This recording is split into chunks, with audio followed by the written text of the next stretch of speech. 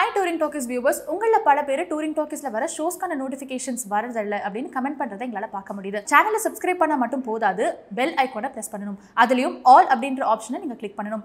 இதுவரை நீங்கள் சேனலை சப்ஸ்கிரைப் பண்ணாமல் இருந்தீங்கன்னா சப்ஸ்கிரைப் பண்ணி அந்த பெல் ஐக்கானை ப்ரெஸ் பண்ணணும். அதுலேயும் ஆல் ஆப்ஷனை கிளிக் பண்ணணும்.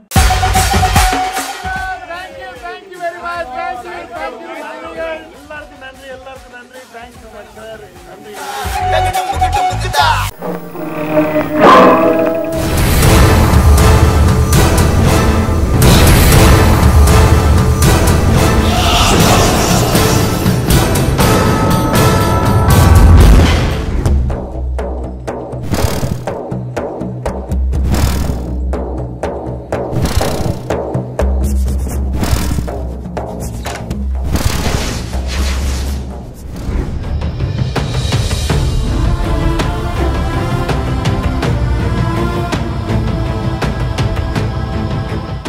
எல்லாருக்கும் டாக்கிஸ் நேர்களுக்கு வணக்கம். நான் உங்கள் Arjun Manikandan.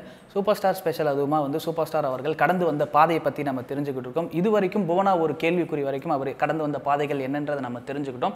அடுத்ததாக அவருக்கு தமிழ் சினிமாவில் ரிலீஸ் ஆன படம் பதினாறு வயதினிலே அந்த படத்தில் வந்து அவர் வில்லன் கேரக்டரில் பே பண்ணியிருப்பார். பதினாறு வயதினிலே அவருடைய கேரக்டர் நேம் பரட்டை.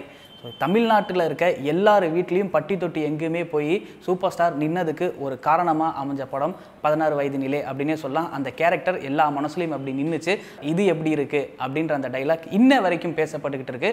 அப்படி இருந்த பதினாறு வயது நிலை படத்துக்கு என்னென்ன சிரமங்கள்லாம் வந்துச்சு அப்படின்னு நம்ம கூட சித்ரா லட்சுமணன் அவர்கள் பகிர்ந்துக்கிறாரு. அதை ஃபஸ்ட்டு கேட்டு வந்துடுவோம் கமல்ஹாசன் ரஜினிகாந்த் ஸ்ரீதேவி ஆகியோர் நடித்த அந்த படத்தை மொத்தம் நாலே முக்கால் லட்சம் ரூபாயில் படமாக்கி முடித்தார்கள் என்றால் எவ்வளோ சிக்கனமாக அந்த படத்தினுடைய படப்பிடிப்பு நடைபெற்றிருக்கும் அப்படின்னு நீங்கள் எல்லாரும் புரிஞ்சுக்கலாம். அந்த படத்துக்கு எந்த நட்சத்திரங்களுக்கும் ஆடம்பரமான ஓட்டல்களில் தங்கறதுக்கு. அது மட்டும் இல்லாமல் பதினாறு நிலை படத்தை உருவாக்க அவங்க பயன்படுத்தின ஃபிலிம் என்ன தெரியுமா? ஆர்வ ஃபிலிம் அப்போல்லாம் பார்த்தீங்கன்னா ஈஸ்மன் கலர் ஃபிலிம் இருக்குல்ல அதில் இருபத்தஞ்சி சதவீதம் தான் ஆர்வ ஃபிலிமுடைய வேலை. விலை குறைவுன்றதுனால அந்த ஃபிலிம் அவ்வளோ எளிதில் கிடைக்காது. அந்த படத்தினுடைய தயாரிப்பு நிர்வாகியான ஷரீப்பு கர்நாடகாவில் அங்கே இங்கெல்லாம் அலைஞ்சு தெரிஞ்சு சில சமயம் முந்நூறு அடி நானூறு அடி ஃபிலிம்லாம் கொண்டு வருவார். அப்படியெல்லாம் தேத்தி உருவான படம் தான் பதினாறு தினிலை படம். பதினாறு விதிநிலை படத்தினுடைய உருவாக்கத்தில் இத்தனை பிரச்சனைகள் இருந்தாலும் படத்தை பார்த்தீங்கன்னா இத்தனை பிரச்சனைகளோடு அந்த படம் உருவானது ஒரு இடத்துல கூட தெரியாது. பதினாறு வயதிலே படத்தை தொடர்ந்து அவர் கதாநாயகனாக நடித்த முதல் படம் பைரவி. அது வரைக்கும் வில்லனாக நடிச்சிட்டு இருந்த நம்ம சூப்பர் ஸ்டார் ரஜினிகாந்த் அவர்கள் நடித்தா இவர் தான் என் படத்தில் வந்து கதாநாயகனாக நடிக்கணும் அப்படின்னு சொல்லி ப்ரொடியூசர் கலைஞானம் அவர்கள் எந்த சீன் சூப்பர் ஸ்டார் ரஜினிகாந்த் அவர்கள் நடிச்சுக்கிட்டு இருக்கும்போது முடிவு பண்ணாருன்னு அவரே இன்ட்ரெஸ்டிங்காக சொல்கிறாரு நம்ம அந்த வீடியோ பார்த்துட்டு வந்துடலாம். ரஜினிகாந்த் அவர்களை ஆறு புஷ்பங்களில் ஏழாயிரம் ரூபாய் சம்பளத்துக்கு நான் நடிக்க வைத்தேன். அந்த கம்பெனிக்கு நான் தான் ஆளினா நான் இல்லைன்னா படம் எடுக்க மாட்டேன்னு போயிடுவேன் ஐயோ ஒரு நூறு பேருக்கு வேலை செய்ய முடியா? வேலை கிடைக்கும் நானே இருந்து முடிக்கிறேன் கூடவே இருந்தேன். கதை வச்சுரும் இப்ப அவர் நடிக்கும்போது இவர் செகண்ட் தான் சுமார் நாலு சீன் வந்துட்டு போனா போதும். அந்த நேரத்துக்கு அதான் விஜயகுமார் தான் ஹீரோ இவர் வந்து டிரைவரா இருக்கிறவங்க இவர் டிரைவரா நடிக்கிறாரு. யாரு? ரஜினிகாந்த். வண்டியை ஸ்டார்ட் பண்ணும்போது என்ன செய்வாங்க சாவியை? அப்படி போட்டு அப்படி அடிப்பாங்க. அவ்வளோதானே அதான் தானே ஒரு செய்யணும்? டிரைவர் மேலே ஏறி உட்காந்துன சாவியை அப்படி அப்படி.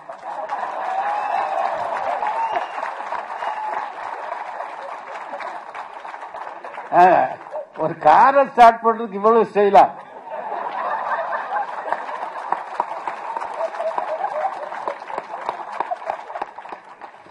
அன்னைக்கு முடிவு செய்தேன் என்னைக்காவது ஒரு நாள் வந்தார் இவரைத்தான் வச்சு இதுதான் உண்மை. அவர் எனக்கு ஒன்றும் சொந்தமெல்லாம் இல்லை. என் பஸ் ஃபர்ஸ்ட் ஹாப்ல நாலு சீன் வில்லனாட்டே வருவார். அதுக்கப்புறம் அவர் சென்டிமெண்ட்க்கு வர்றாரு. எடுக்க சொல்லிப்பட்டு எங்க அண்ணன் தேவர் காலவாரி விட்டாதே அவனை வில்லனா போடுறா. ஜெய்சங்கரை போட்டா பூஜை அன்னைக்கு மூணு லட்சம் உடனே கொடுப்பான்டா வேணாண்டானாரு அவர் தான் என்ன எடுக்க சொன்னது. அண்ணே நான் வாக்கு கொடுத்துட்டேன். நீ வாக்கு கொடுக்குற நான் பணம் கொடுக்குறேன்ப்பா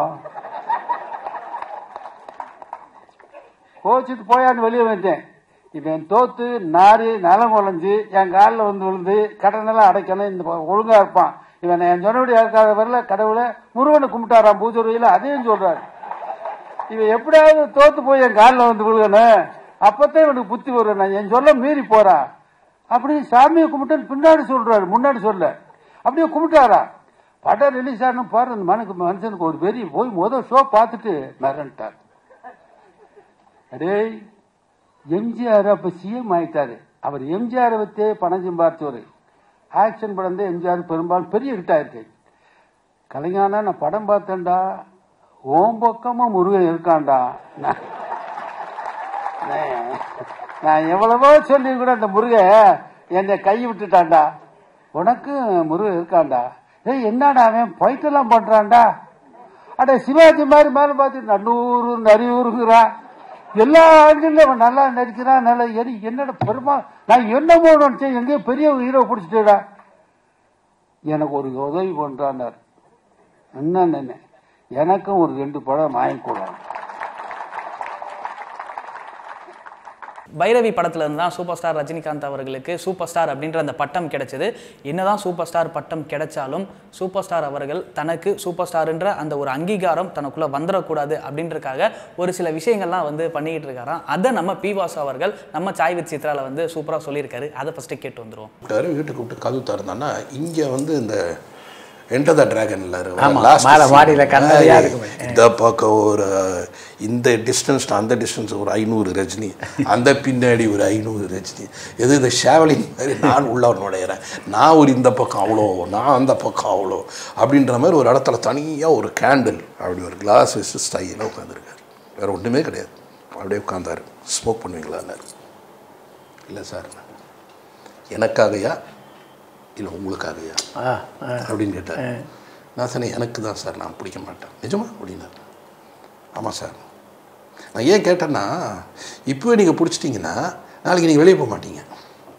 இல்லை ஷார்ட் டு ஷார்ட் வெளியே போய் ஒரு அனாவசியமான ஒரு மரியாதை தேவைப்படும். அதெல்லாம் எனக்கு பிடிக்காது. எனக்கு எல்லாமே டக் டக் அப்படி இருக்கணும். அப்படின்னாரு. ஸோ அங்கேயே ஒரு பிரேக்கு அவரோட கேரக்டர் எப்படி ஒரு கேரக்டர்னு செகண்டு நான் நான் என்ன பண்ணேன் சார் இது எதுக்கு சார்?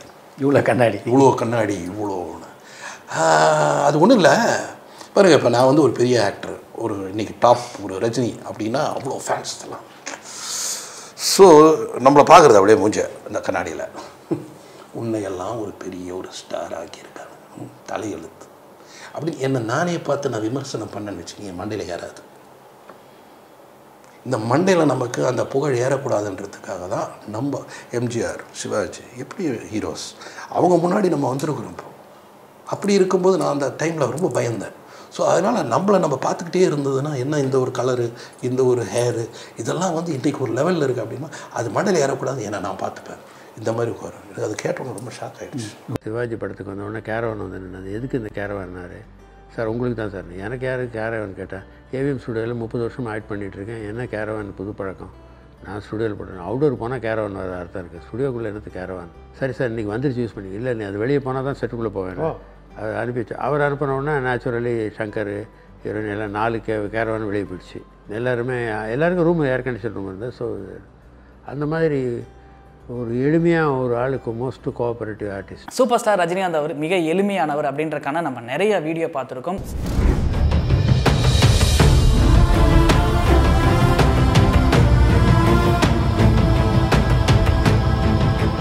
பைரவி படத்து மூலயமா சூப்பர் ஸ்டார் ரஜினிகாந்த் அவர்கள் கதாநாயகன் ஆனது எப்படி நம்ம பார்த்துட்டோம். அடுத்ததாக தமிழ் சினிமாவில் அவருடைய எந்த படம் அவர் அடுத்த கட்டத்துக்கு கூட்டிகிட்டு போச்சு அப்படின்றத இன்ட்ரெஸ்டிங்கான விஷயங்களோட நான் உங்களை வந்து மீட் பண்ணுறேன் அடுதல் bye from signing off Vijay Arjun Manikandan.